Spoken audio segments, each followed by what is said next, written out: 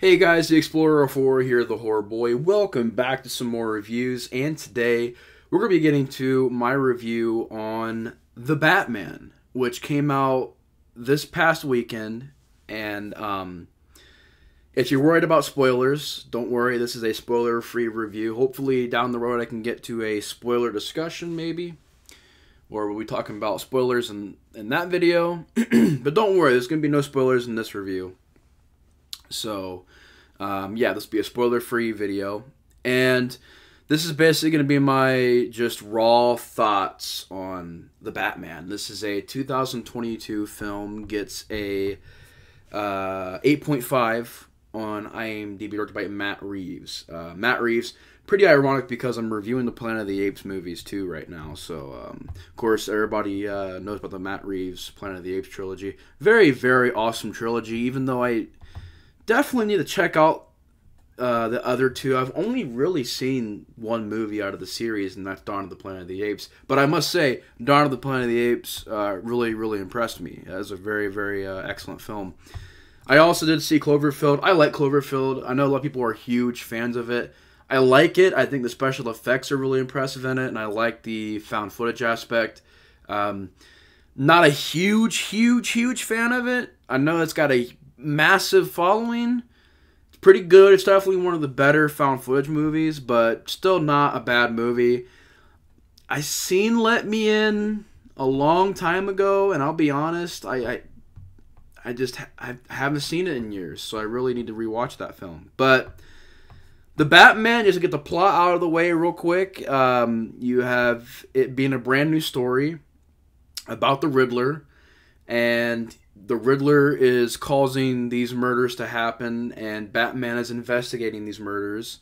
And you have a lot of Batman working with GCPD and working with uh, Detective Gordon. I don't know if it's Detective Gordon or Commissioner Gordon in this movie, but he's working with Gordon to solve these murders and figure out.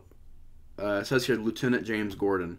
So he's working with uh, Gordon in this movie to try to figure out who's doing this, who is the Riddler, and uh, basically he's dealing with a lot of you know trauma and you get this movie done with a lot of Batman not being the billionaire Bruce Wayne that we've all come to love and he's a lot more down to earth and more quiet and you know definitely my hats off to um, Robert Pattinson for this performance in this movie. It's it's really really good and you have a little bit of Bruce Wayne done with stuff in this movie. You have a lot of Batman, and you have fight scenes, you have action, you have a giant plot, and I want to get more into some of the other things. Um, I'll get more into the plot probably when I do the spoiler discussion because to get into the plot right now would be kind of hard to do because I'd have to dance around a bunch of spoilers. But I want to say,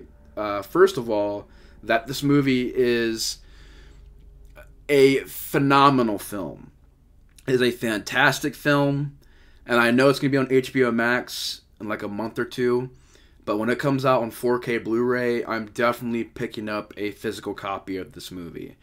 And I know a lot of people out there are going to be asking, is this the is it a good Batman movie compared to the others? Is it better than other Batman movies?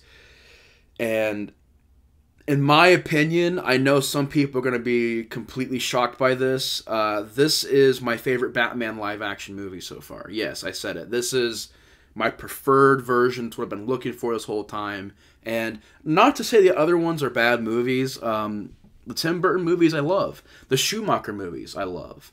The um, Christopher Nolan movies I love. Batman versus Superman. I'm not. I wasn't really into the Snyderverse, the the Snyder films. I just wasn't. It's not my cup of tea. It's cool if you are, but that definitely was probably my least favorite version of Batman. And like, not even anything it's Ben Affleck. Just the whole way that universe was. I just wasn't into it. But yeah, I love the Tim Burton universe. Batman is a classic. Batman Returns, I love. Batman Forever is great. I love what Schumacher did and made it a bright and colorful and just energetic film. I love, love, love Batman Forever. Definitely one of my favorites. I love Batman and Robin. Yes, I love Batman and Robin. It's a great throwback to the Adam West film, or well, film and TV show. Uh, I think it's a great, different film. I think it's well made movie. Is it silly? Yes. Is it goofy? Yes. Is it over the top? Yes. But overall, it's very entertaining and very fun. I love Batman and Robin. Um, for years, I was like, oh, yeah, it's bad, just to kind of, you know, fit in with the crowd. But I love Batman and Robin. It's a great movie to me. But uh, Batman Begins. I'd actually recently rewatched the Nolan trilogy to kind of get ready and get back into the mood of Batman and Batman Begins is my favorite out of that trilogy. I love the prequel aspect. I love the usage of the year one story. I love the the bat suit. Uh, I thought Christian Bale gave a great performance in that movie, both as Bruce Wayne and Batman. The the way that movie looked, the environment, the Gotham they chose, and how it was designed. I love the first movie in that trilogy. Batman Begins is my favorite out of that trilogy. The Dark Knight I'm not taking anything away from that movie. It is a phenomenal movie. It's an amazing film. It's a great piece of cinema, but I don't put it as high as other people do. Whereas, oh, this is the bar, and if you don't reach this, then there's you're, you're just gonna drop off. It's not gonna be that good. I don't do that. To me, The Dark Knight, I love it. It's a great movie. It's one of my favorite Batman movies, but I don't hold it on that high standard that everybody else does, where it's I think on IMDb it's like one of the top 10 highest rated movies on IMDb, which is crazy to me because I love Dark Knight, but there's also movies that I definitely can count more than 10 of that I like more than Dark Knight. And plus it's not really my preferred like to get into the this film, it's not this is my preferred tone. This is my preferred Batman. This is my preferred way to take the story, and this is my preferred route. Which is why when I seen Joker, I was impressed because I'm like, okay, here's a Batman esque movie it's in the universe of Batman. That's dark, that's gritty, that's R rated. It's done with real problems, and it's dealing with a really heavy plot. I love Joker. I've never reviewed it on the channel. Hopefully one day I can, but I love Joker from 2019. Um, and I loved it so much because it was so different from Marvel. And, you know, Marvel is doing their own thing. The MCU I don't hate. I love a lot of movies from the MCU. Here lately, the movies haven't been the greatest. I wasn't a big fan of the Eternals. Black Widow was, at best, a blockbuster action movie.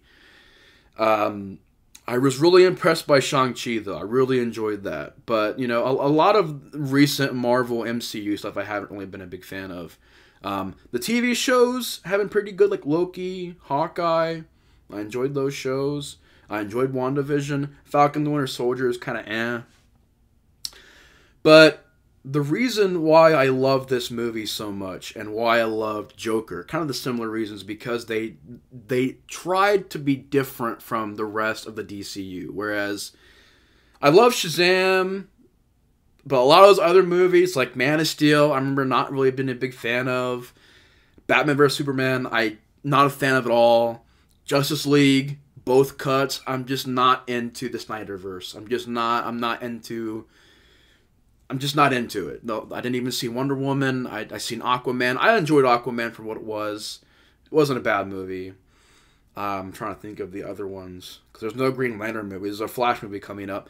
I'm not really too much into the DCU. It's just to me, it was started out really rough, and I'm more into this the the Batman universe in the DCU. You know, Matt Reeves universe, which I know they're going to be making TV shows of this from this Batman uh, universe and doing all kinds of side stuff, which is awesome because I'm really hyped for a sequel to this movie. And I love Tim Burton stuff. I love the Nolan trilogy, but to me, this, like I said, is the Batman that I've been waiting for for a while.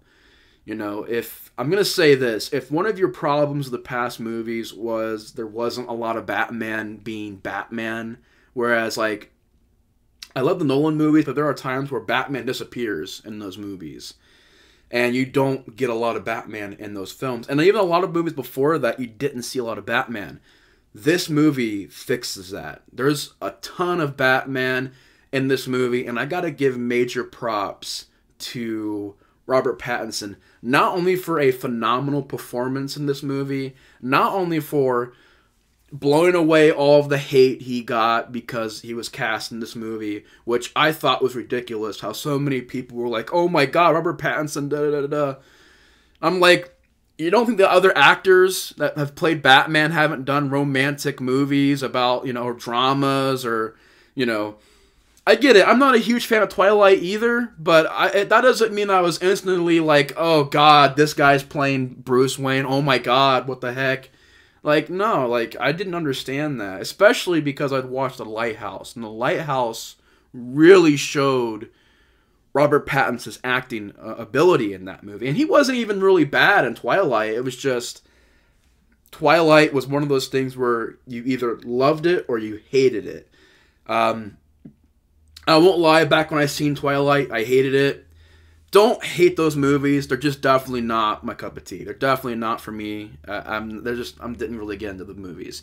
But Pattinson in this movie to me played the perfect Batman to where as and, and as a character of, as Bruce Wayne and Batman, I think he gets the dynamic right to me. To me personally. Now it's all going to be up to, you know, your preference because you know, some people want a stealthy, fast, in the shadows 24 7 Batman who's never seen.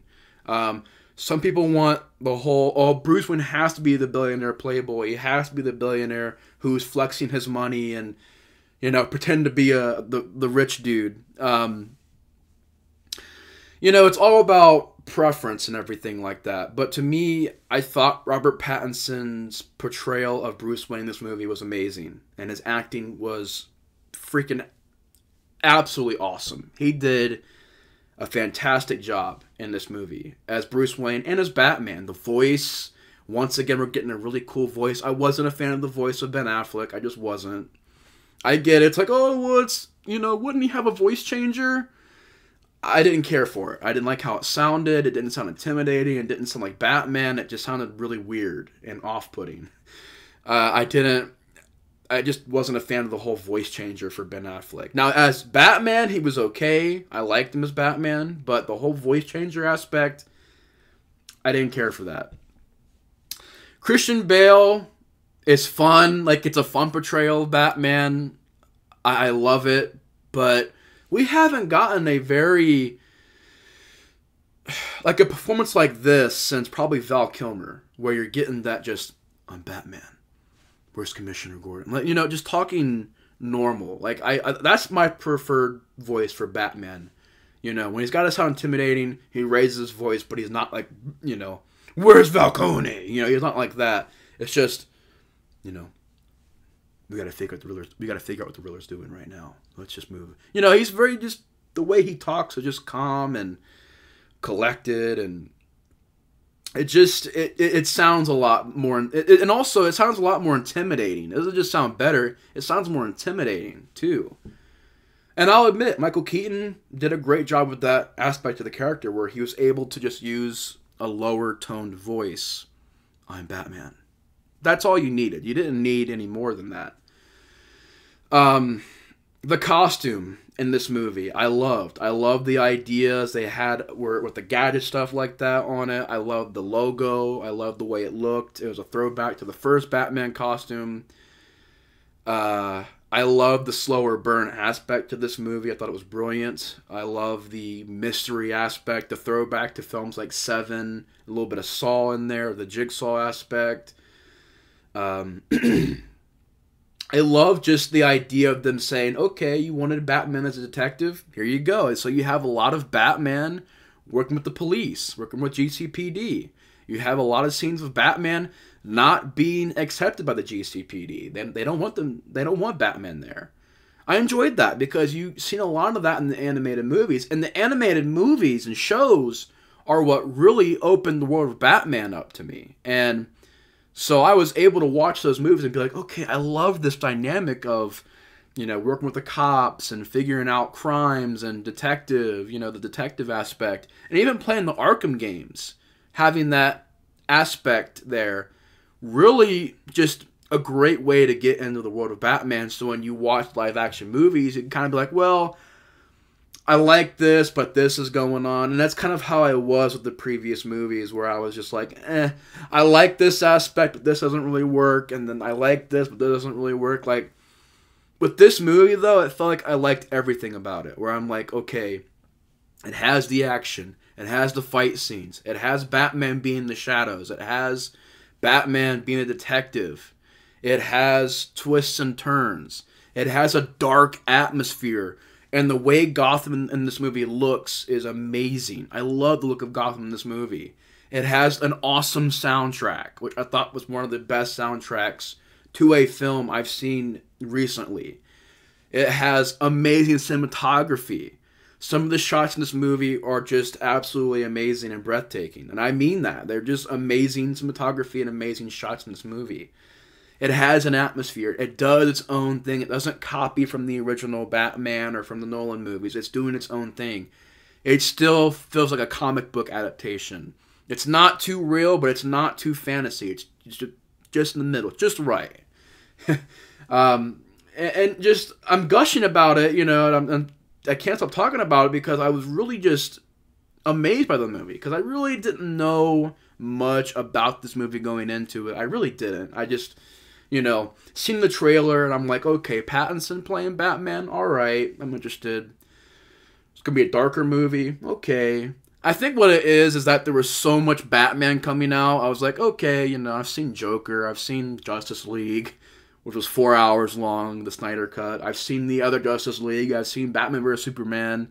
You know, I've seen all the animated movies that were coming out in between those films. So I was just like, I don't know. I was playing the Arkham games, uh, so I think maybe I was just like, okay, another Batman thing. I didn't want to say. I don't want to say I just didn't care about it. It was just that there was a lot of Batman going on at the time, so I was like, all right, we'll see how this goes. But yeah, it really surprised me. It's just a well-made movie all around. It's my favorite Batman movie so far, and I stand by that. It's a great movie, and also a little bit underrated because there are some people saying that it's slow, it's boring, which a lot of the arguments of this movie, granted, you can have your opinion. It's just a lot of them I'm like, well, that same stuff can be said about the Nolan trilogy, which nobody wants to talk about that. People want to say, oh, this is too boring. Those movies are pretty slow. And I love slow movies. I don't find them boring. But if you found this movie boring, how could you not find Dark Knight boring? Because they're kind of similar in the tone, not the tone. Well, yeah, I guess the tone, and also just the the pacing of the film. So I didn't really get that criticism.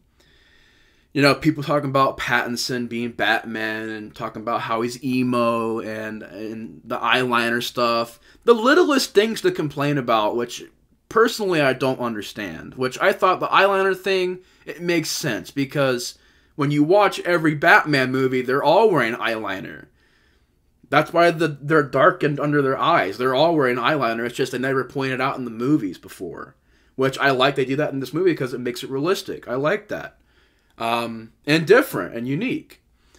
Uh, what else? People talked about how it was too much of a dark tone, and I'm like, well, Batman Returns had a dark tone, and Dark Knight wasn't a light tone. It was definitely more of a serious, gritty movie.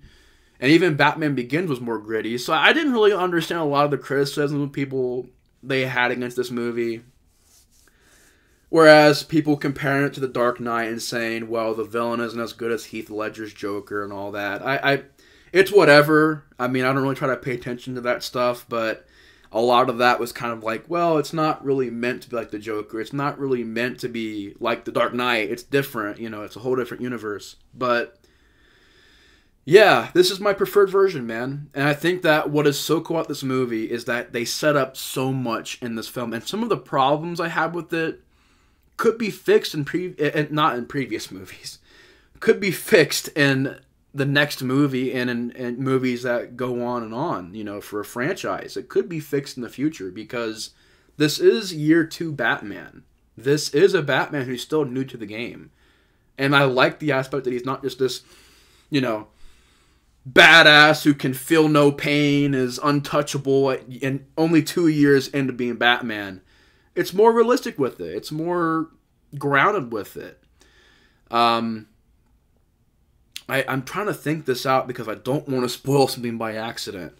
But the acting was on point. The performances by Penguin and Catwoman and Falcone and um, of course Pattinson and Alfred. I think these characters are all nailed in this movie, and the acting is all well done. Um, yeah, the costume design I really enjoyed. The set design, the CGI didn't stand out to me as being bad. The effects are really good. It's a slow burn movie, but when the action is there, it's awesome. Yeah, it's a lot of good shots. I enjoy the soundtrack. The usage of Nirvana's Something in the Way, brilliant in this movie. Definitely makes it unique and is to this movie. Um, and the whole movie has a grunge vibe to it, which I know the director and a lot of the cast were talking about how it has this punk rock kind of grunge vibe to it which I can definitely see in this movie. It's definitely gritty and you know the environment is just it's always dark, it's always raining. Um, Gotham looks like Gotham.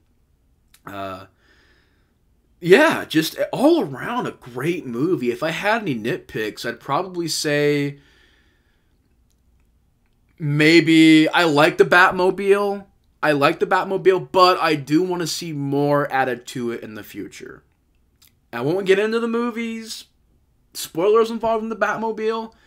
I liked it, but I wanted to see I want to see more in the future with the Batmobile. Also, Batman in this movie, he doesn't really utilize a lot of stealth, which I thought was really interesting because it's different first of all, but when you think of Batman, he doesn't really like rush into fights. He kind of, you know, sneaking around in the shadows. This is what I think of when I think of Batman. He's just kind of, you know, in the shadows, watching from afar. Whereas in this movie, he walks up and just starts fighting people. He doesn't care how many people's there. And I like how he's fighting eight people. He's not going to be like punching them all and not getting hit. No, there's a guy over here who comes in and hits him. But of course, he no sells it. He's just like, all right, who are you? Punch. And when he punches people, you can hear bones cracking and breaking. Like, he's breaking bones in this movie and just busting heads. You know, it's it's crazy. It's crazy. And there's a scene where a guy has like a metal pipe, and he fights the guy and grabs the pipe, and this other guy shooting with the gun. But of course, Batman has the armor on, and so he's looking at the guy who just shoot him, and the guy who shoot him is just getting like shot because he can't kill him, and just throws the pipe at the guy's head. That was just crazy. So a lot of the action scenes are very well choreographed. And I'll say this: the action scenes in this are better than like the Tim Burton action scenes, the Nolan action scenes, and maybe the Schumacher action scenes. Like I said, there's a lot of things in this movie that I thought improved upon problems with those movies that they approached this movie and said, "All right, let's do this. Let's have Batman the movie, you know? Let's have him in the costume through most of the movie." let's have fight scenes where it's not edited really bad and you know really just shaky and you can't tell what's going on. No, let's shoot it like a normal fight scene. Um, yeah, good lighting in the movie. I mean, all together, I don't want to spend 30 minutes talking about the movie. Um, I'll be doing a spoiler discussion eventually in this movie, but uh, yeah, the Batman, I'm going to give it a solid 9 out of 10. It's a very awesome, fantastic film that I can't praise enough. And if you haven't seen it yet, definitely go out there and watch it. Definitely go out there and watch it. It's definitely a theater experience. Um, know it'll be on HBO Max here soon. Yeah, overall, so glad I seen it. Awesome movie all around.